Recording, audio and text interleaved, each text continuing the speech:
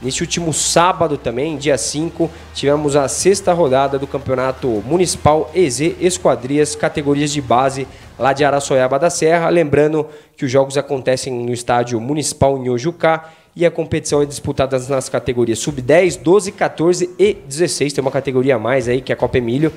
E o campeonato conta com o apoio da Prefeitura Municipal de Araçoiaba da Serra. A organização fica por conta do Júnior da JR Estofados e também do Gil, seu parceiro aí da loja de artigos esportivos. No primeiro jogo, a 1h15 da tarde, tivemos o Bola de Ouro 1, Capa Sports 0 pela categoria Sub-16.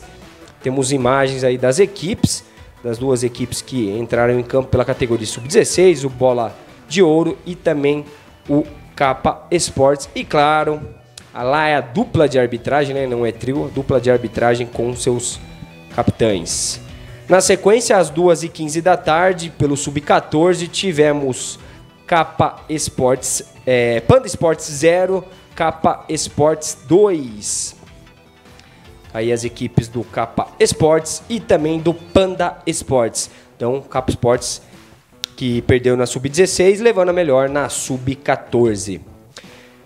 Às 3h15, na categoria sub-12, o Capa Esportes venceu mais uma 2 a 0 no Panda Esportes.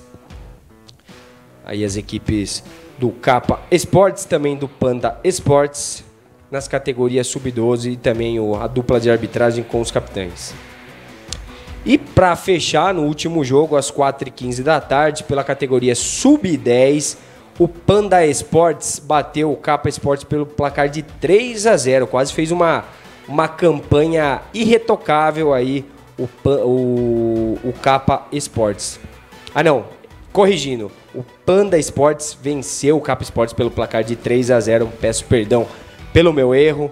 Tá aí então as equipes sub-10 do Panda Esportes que venceu e também do Capa Esportes. E claro, dupla de arbitragem juntamente com os capitães. Neste próximo sábado, dia 12, acontece a sétima rodada. Vamos aos confrontos aí na tela então. A 1h15 da tarde, o Bola de Ouro enfrente, enfrenta o Juventude Laranjeiras pela categoria Sub-12. Às 2h15, pela categoria Sub-16, Juventude enfrentando o Demei Jorge Wetter. Às 3h15, na categoria Sub-14, Juventude enfrenta mais uma vez aí a a equipe do Demei Jorge Wetter. E fechando a sétima rodada, às 4h15 da tarde, na categoria Sub-12, tem o Demei Jorge Wetter enfrentando o Demei Bacaitava.